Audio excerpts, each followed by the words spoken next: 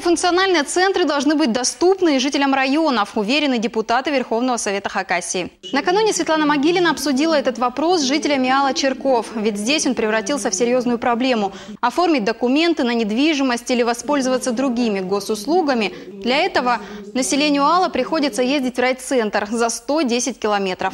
Многофункциональные же центры, где можно получить целый комплекс государственных услуг, в республике работают с 2010 года. Сегодня их три – в Абакане, Саяногорске и Сорске. Как вариант выхода из ситуации Светлана Могильна предложила устроить выезды МФ-центров в районы.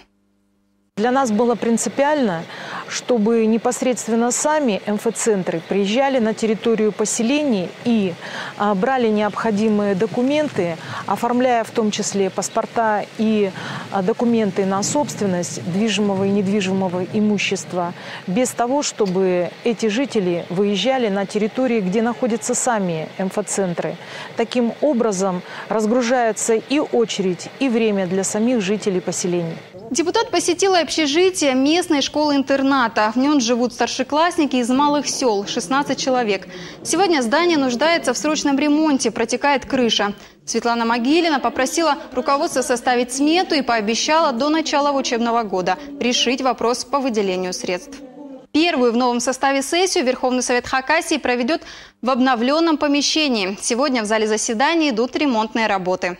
Вот так зал выглядел еще в 2006 году. В последний же раз его ремонтировали в 2008.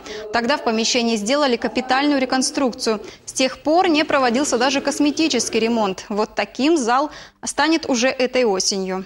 В зале заседаний, как правило, ну, проходят сессии Верховного Совета. Присутствует на всех заседаниях более 100 человек. Естественно, вот, много людей, техника работает, все остальное. Так. Зал пришел, конечно, за это время, ну, запылился, и нуждается действительно в косметическом ремонте. В помещении переклеят обои, переделают гипсокартонные перегородки, стены заново отштукатурят и перекрасят. А ковролиновые полы заменят на более практичный и менее пыльный материал. На все это уйдет 2,5 миллиона рублей. Еще одно из новшеств, что ожидает депутатов Верховного Совета нового созыва, это то, что теперь на заседании им не придется перелистывать кипы бумаг с законопроектами. Им на смену приходят электронные технологии. Каждому депутату выдадут вот такой вот планшетник, на котором уже будут залиты все законопроекты. Это не только улучшит качество работы, но и позволит существенно сэкономить республиканскому парламенту на бумаге. Только за прошлый год Верховный Совет израсходовал порядка 4 тонн бумаги. А это огромная нагрузка на канцелярию и серьезные траты, которые сегодня можно избежать. Гаджеты для депутатов закупят, как только закончится ремонт. Технические же вопросы уже решили. Зал заседания готов к подключению электронной системы. Поскольку будет внедрен электронный документооборот, мы проштробили, соответственно, полы, подготовили Э, э, скажем так, проложили трубы для подводки различных коммуникаций, то есть электричество.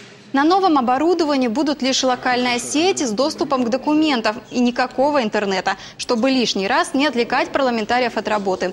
Еще одна немаловажная причина – провести ремонт. Число рабочих мест по закону в парламенте сокращают, а значит и в зале должно стать просторнее. На время ремонта вся мебель хранится в коридоре. Из 75 депутатских мест обратно в зал заседания вернутся лишь две трети. Ведь новый созыв Верховного Совета станет меньше сразу на 25 человек. Кто займет их, станет известно только осенью. Как только жители Хакасии выберут новых парламентариев в единый день голосования 8 сентября. Это были все события парламентской недели. Мы прощаемся с вами до следующей пятницы. Всего доброго.